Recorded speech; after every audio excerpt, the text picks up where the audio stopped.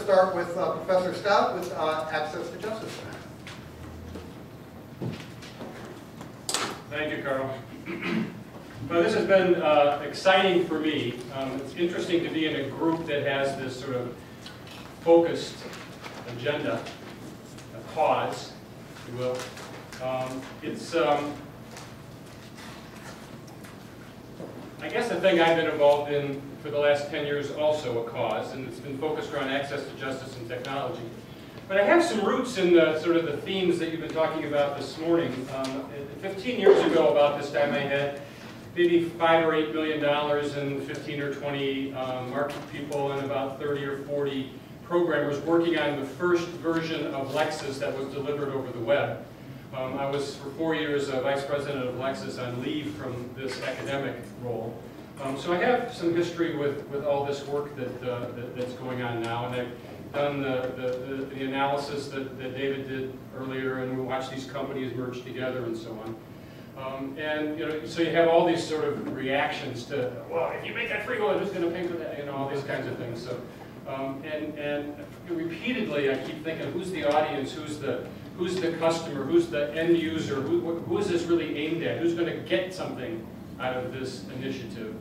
Um, and maybe there's a little bit of a way to begin thinking about that in the context of a very narrow little slice of a crusade that we've been on here um, for about 10 or 11 years. So um, what's this access to justice slice? Well, there's a massive need. There are 51 million people as of 2007 um, in need who are eligible for the Legal Services Corporation services. 17.6 million of them were children. That was an increase of 1.8, 1.18 million from 2006, and it was before this crash that we we're experiencing now. So these numbers must be significantly larger. There aren't any new data available on the Legal Services Corporation site. Um, the Legal Services Corporation is the nationally funded source for about maybe a half, third to a half of the money used for civil legal aid. Um, and their funded agencies do a million cases a year. Yet half of the people that come to those folks are turned away because they don't have the resources to take care of them. And every study that's been done by state justice communities shows that 80% of the legal needs of the poor and the working poor are unmet. That people figure out some other way to deal with things. Um, there's also a phenomenon that affects judges and clerks and court administrators, court administrators who are not as evil as I heard this morning. Um, actually, they just have a job to do, right? Right? Their job isn't to help you. Their customer are the judges and the, and the lawyers and the other people that are working their way through that system. And you come in and say, I want to go publish something, put it on the web. They say, well, that's nice, I'm busy. Right? I think that's mostly what's going on with them. And, and, and the as, as, as you pointed out this morning, the chief judge is a, a politician. I'm going to do these little comments on things as I go along because I have all these things to say. Um, but um, and, and, we have some very good court administrators who work through this study. I can tell you about them. They were faced and have been faced and are continuing to be faced with massive numbers of people coming through their court systems unrepresented.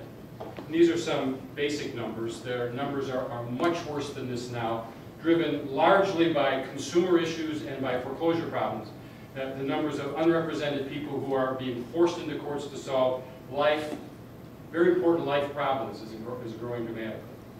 So about 11 years ago, with some very wonderful partners, including the National Center for State Courts and State Justice Institute and um, a variety of other folks to help fund us, um, we, we tried to put together a project that would help address this issue by bringing new, new eyes, new insights, new approaches to this problem. And we associated with our Institute for Design and a, a systematic design um, expert named Chuck Owen. And we took teams of, of students uh, from the design school who are all graduate students who are very clever people that help design um, cell phones and desks and, and, and, the, and, the, and the traffic flow for the museum campus the, at the, at the uh, um, Chicago lakefront, things like that. And these people, and we, and we put them through a, a year-long process of research to try to understand the, the needs of self-represented people who were not getting their needs met by the courts. And to some extent, the customer all there was also the, the court systems themselves, the court administrators, the judges, and so on. And this is sort of the, the, the, the phasing of that work. Um, this is the result of the first couple of phases. It's a, a, a research report. Um, attempted to identify barriers and employ system technology to, to fix the process. Um, so what do we find out? Well, cost is a barrier. They, don't get lawyers because they don't have any money. Uh, most of the people attribute the cost of the court system to lawyers. Um, but apropos of almost everything that was talked about this morning, the, the huge problem in the middle of this whole process that we discovered was complexity. So I had this image of, of somebody with my iPad Oyez app, right? And so I, I'm on the plane going home tonight, and I, I watched the carnage on Grey's Anatomy, everybody getting killed last night. Um, and then right after that, I, I bring up, you know, like Citizens United and page through that and enjoy myself doing that. It says, who can read that case, right? You can't read that case. And, and I've been in this law business for 40 years. There's also this lack of legal representation, distrust of lawyers, lack of information about process, and so on. Here was the fun stuff. We took these design students and my law students, we went to five different courts, and we did ethnographic research. A thing I recommend to you if you've been in a career for a long time and want to find out what's really going on in the shoes of the customer. We, we went out and stood at the, at the uh, front door in Boulder, Colorado, um, uh, in the John JonBenét Ramsey you know, courtroom, courthouse, and we waited for the doors to open at 7 o'clock in the morning. And we wandered through with the self-represented people, and we got, we got ourselves frisked, then we walked with them and talked to them, and we took their pictures if they let us, and, and, and interviewed them. And then we found out what they did, and when they went through their court process, we asked them before what they were trying to get, and when they come out, we asked them, did you get what you wanted? What could be better except winning? Things like that. And it turns out that self-represented litigants are very committed and really engaged um, with a commitment to traditional court systems. They, they respect the judge and court administrative people a lot. But they also see this system as hostile, confusing, disoriented, inefficient. They, they find the buildings and the signage like completely confusing. The paperwork that, that, that's needed to do the process to get them through the, any, any simple little thing is massively baffling. I mean, they, they, they just can't figure it out. It's even difficult when the clerk, you go to the clerk's office and they say, well, fill out a form to get your case up on the, on the docket. They'll, and they'll give you the form. There's, there's no place to write there, right? You don't have a, there's no place, there's no flat surface to lay down and write, write it out, even if you're filling it out by hand. They think alternate dispute resolution is, is mysterious. Isn't the judge supposed to decide? I'll go to the judge and the judge says, why, do I, why would I want to go you? They find hearings unnerving, dehumanizing, they wait forever. when they finally get their chance to speak, they're frequently told not to say what they want to say. When they win, which is occasionally the case, it takes forever, if ever, to try to collect on what they've achieved. So if they get a $500 judgment against their neighbor for knocking over the fence, how do you get the money? Doesn't he just pay me? The German design students on our team said, well, doesn't everybody just have a credit card? Why don't you just charge off on their credit card? Well, those are lawyers. What do get? That's just, it's just a whole new set of lawsuits to collect the money. That's what you get when you get, get the judgment. All right, this is a little image. Actually, this is an actual image. I think it's the seventh or eighth floor of the of the Daley Center, the biggest courtroom in in, um, in Illinois. And you know, I, I, I thought that sort of the fuzzy aspect of it, the, sort of the otherworldly aspect of it, was really an accurate portrayal of the fuzz that people must see when they come in there. And, and it's just like people running around. And I remember, you know, 40 years ago, going over there on, a, on an assignment from the law firm I was working to file something, and that's how I felt. You know, it's, it's, it's, it's like that. Um, so what were we about? Well, we're supposed to identify all these problems, try to get a new look at how to solve the problems, and then build some tools and prototypes that might solve some of those problems. A key set of the problems are dealing with very simple things. I need a name change because I don't want to be known by my husband, the abuser's name anymore. I need a, a guardianship so my child can, can go to school in a district where they're not going to be threatened by a gang. Um, uh, I need a divorce, and I haven't seen my husband for, for, for 15 years. We have no money, we have nothing else, and I want to get married again. Simple things that should be easy, right? It turns out that they're not, as we've just discovered. And so we put together a series of, of, of design suggestions.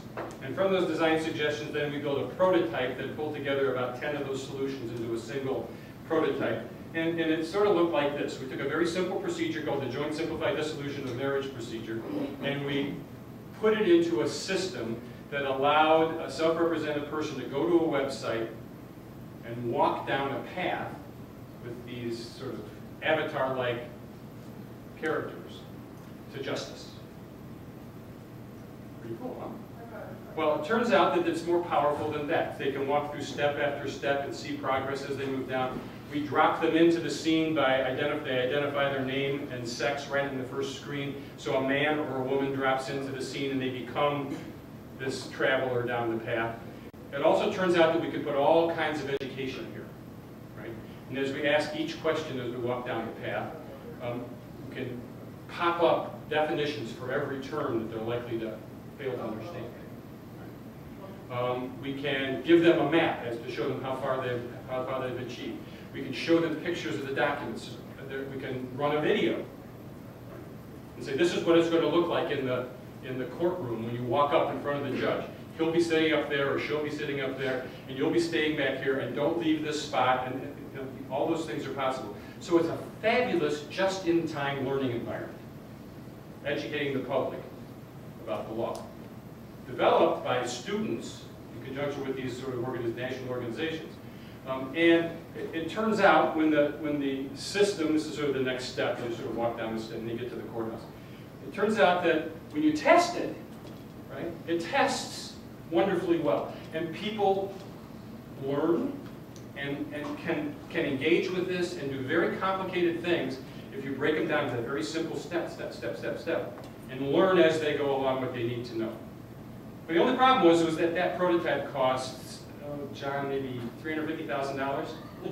that one little thing? Uh, yeah, I didn't get much of that, but yeah. John, John is, you know, actually, the other thing I noticed with, with, uh, with uh, sort of our team this morning is that the technologist and the, and the sort of the domain specialist pair, right, is a key element to success in this field. We have one example back there with Oyez and John and I are sort of like that kind of guy. I've been following John around for like 20 years, and just every time he comes up with a new idea, he says, oh, well, I think I'll try that.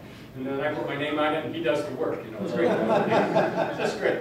You know, the Tom Bruce and, and, Peter Martin were like that, and, and Cornell as well. Um, so the solution to this is to build a tool that builds the, the guided interviews, right? And John's group, the Center for Computer Assisted Legal Instruction, had the rudimentary pieces of that because they had a, an authoring tool that, that very low um, tech authors, law professors, could use, right, to build lessons, right, to teach the law to law, law students, right. So he took that, that, that core and built a solution provider that helps clerks in courts and legal aid lawyers and others build these guided interviews in a whole variety of things. And at first, it was to sit inside a structure that the Legal Services Corporation had developed of putting a website in every state that was the authentic source of legal aid information and resources. Right? Step number one, very powerful concept that the Legal Services Corporation um, implemented through something called the Technology Innovation Grant System.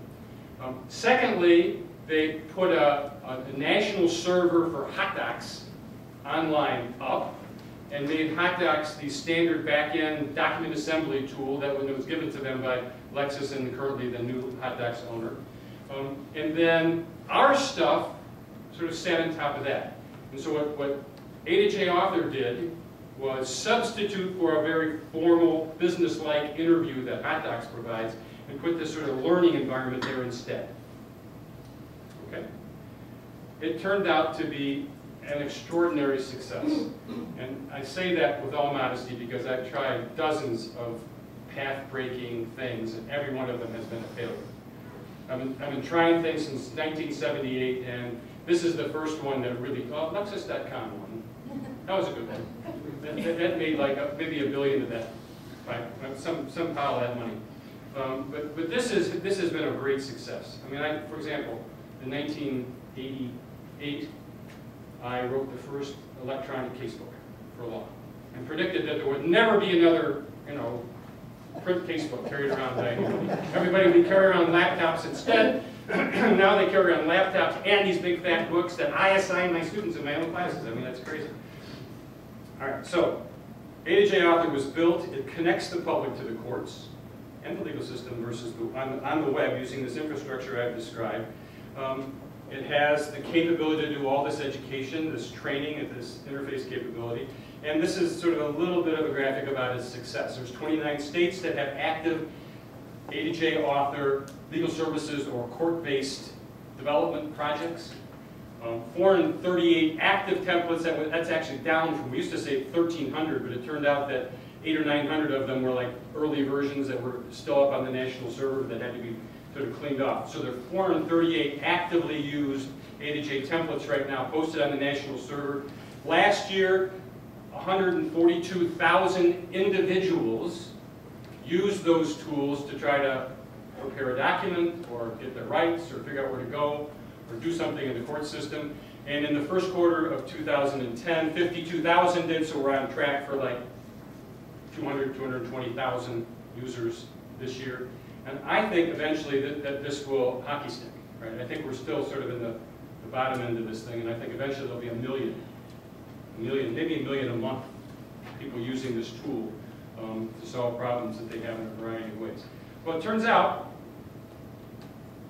that in addition to being the front end to document assembly and helping people put their documents together, um, it also could be a website guide. So you could ask somebody, ask them a bunch of questions, and then instead of preparing a document using HotDocs, you could just take them someplace on the web, just deliver them there. right? Um, in addition, if you wanted to do online intake, if you're the seven legal services programs in Ohio, and you wanted to allow people to get on a web page anywhere in the world, actually, but certainly anywhere in the state, at any time of the day or night or week or weekend, and find out if they're likely eligible for legal aid and if they have the kind of case that legal aid would cover in Ohio, and get to the right one of those seven organizations, right?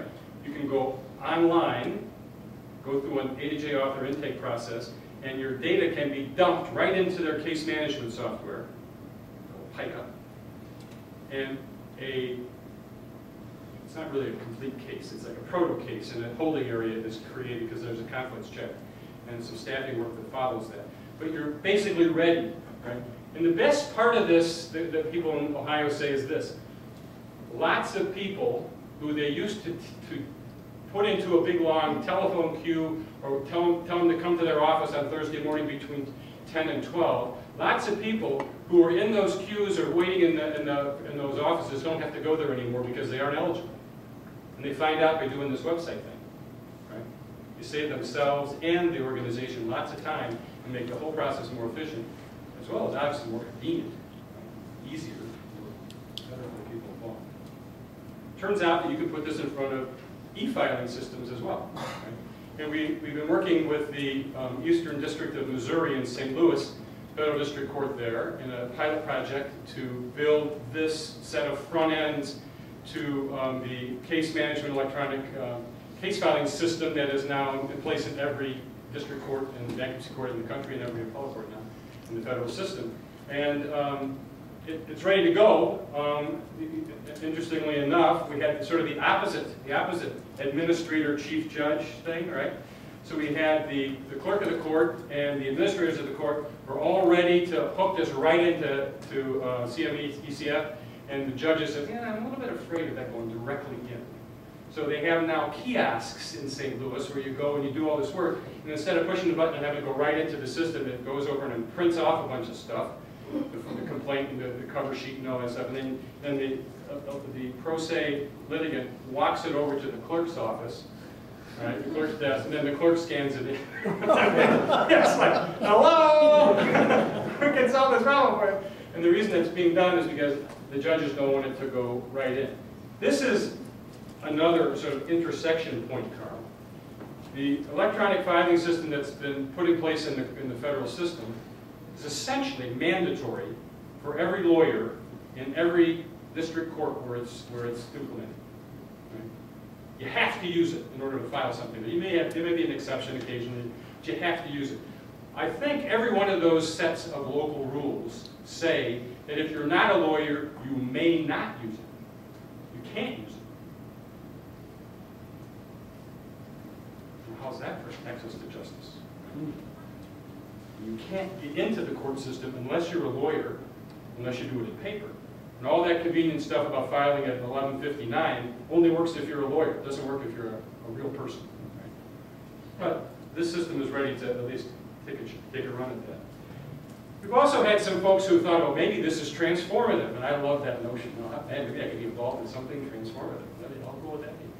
Um, and the notion is, is well, maybe you could face building code um, or building permits and and uh, liquor licenses and all kinds of administrative things. Maybe you could face the all the all the legal and administrative and government needs of the public with these kinds of triage systems.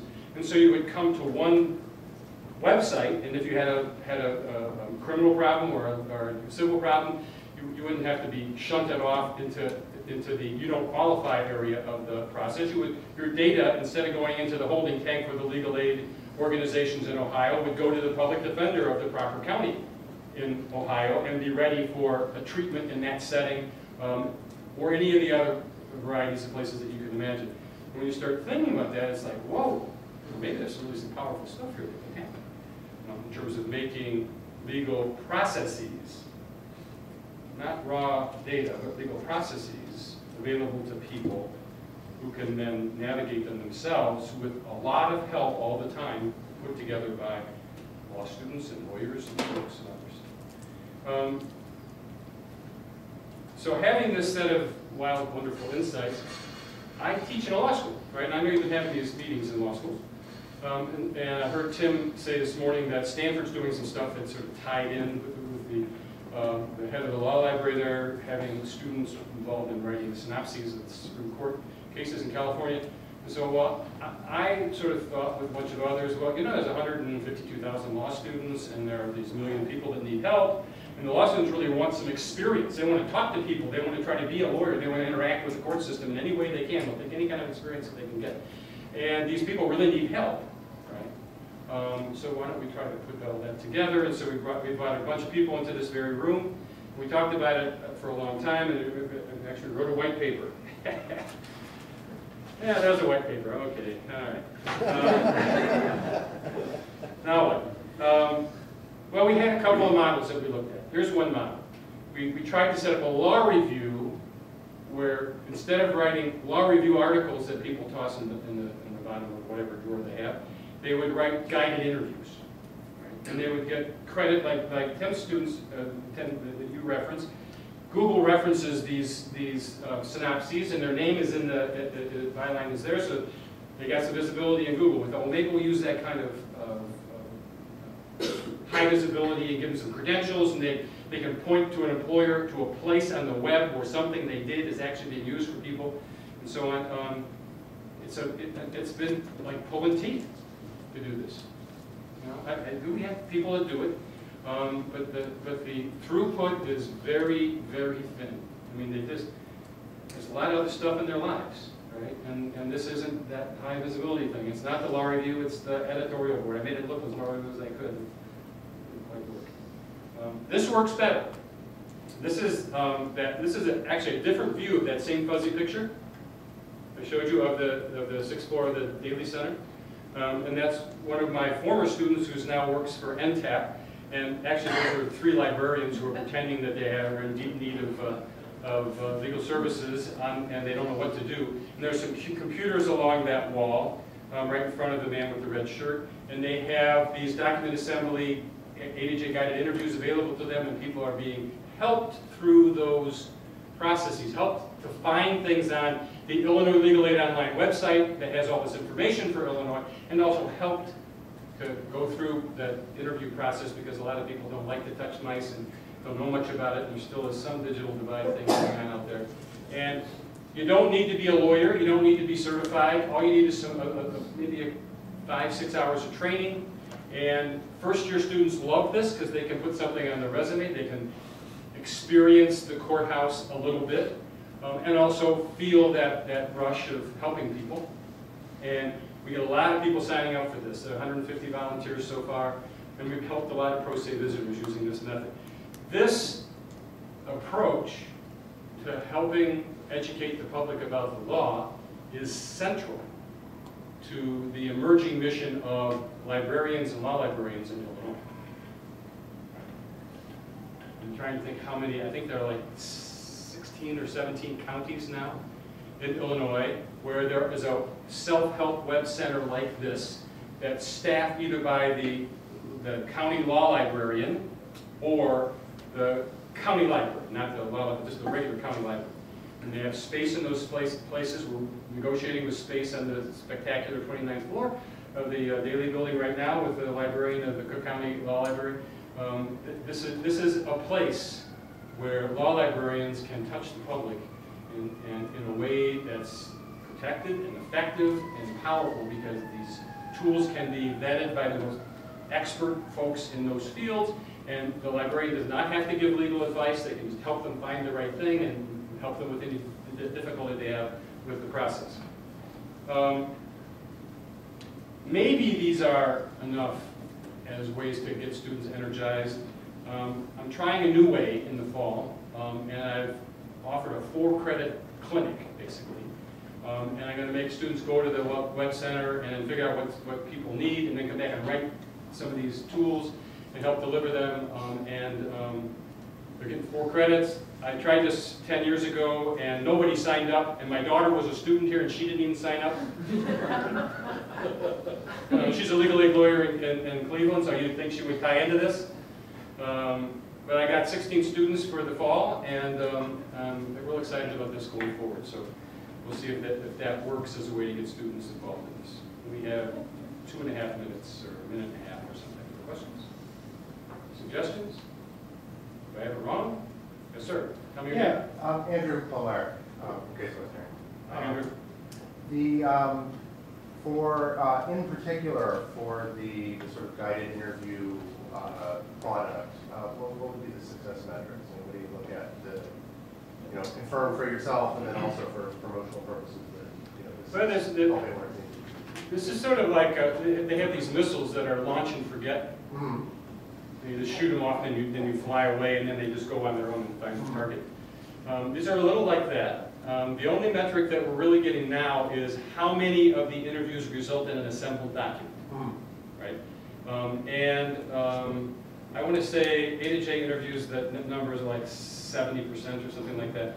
And that may be more of a measure of is, is the interview too long? Is, people don't, just don't want to finish, it gets too hard to do. Um, there's no, nobody's doing anything now, although there are places like Idaho where every state Supreme Court form um, of any frequent use has been converted into this thing, and they have a very high penetration rate for A2J author guided interviews there. Where we could probably try to do a study there and follow up, like code the, the documents that are produced this way. But we, we don't have anything. But it's one, it's wonderfully successful, I promise you. Yeah, Where do you want to be five years from now?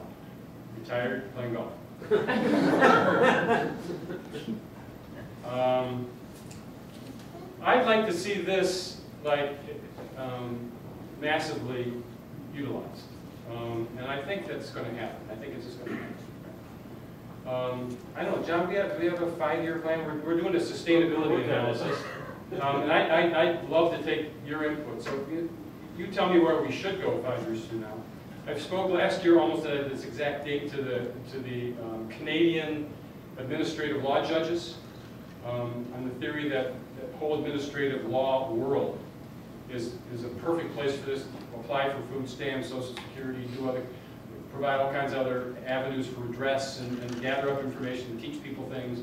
Um, I think that, that that's a, that's a heavy place to go, um, and we can, we work in that space. Um, I'd like to see students more involved, um, and students more um, engaged and, and more valued for the work that they do in this space, and we'll see if the course helps that. John, you're up.